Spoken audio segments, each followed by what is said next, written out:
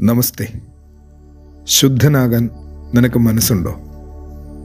കുഷ്ഠരോഗബാധിതനോടുള്ള യേശുവിന്റെ ഈ ചോദ്യം എത്ര ആവർത്തി കേട്ടിരിക്കുന്നു? തൊട്ട് സൗഖ്യമാക്കിയ യേശുവിന്റെ അവദാനങ്ങൾ എത്രയധികം വാഴ്ത്തി പാടിയിരിക്കുന്നു?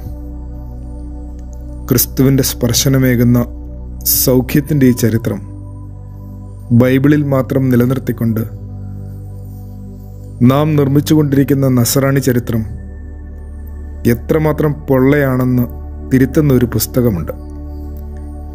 ബിനിൽ പോളിന്റെ അടിമ കേരളത്തിന്റെ അദൃശ്യ ചരിത്രം.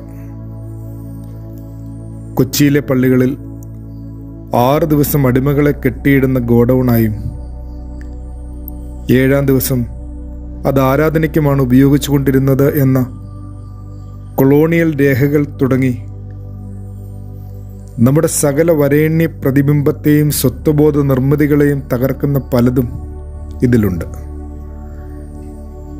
എല്ലാ തീണ്ടാപ്പാടുകൾക്കും അപ്പുറം ഒരു തൊടലാണ് ക്രിസ്തു നടത്തിയത്. മനസ്സുകൊണ്ട് പോലും അത്തരമൊരു സ്നേഹസ്പർശം ഇനിയും സാധ്യമായിട്ടില്ലാത്ത നമ്മളോടാണ് സഖേ ശരിക്കും അവൻ ചോദിക്കുന്നത്. നിനക്ക് മനസ്സുണ്ടോ എന്ന്?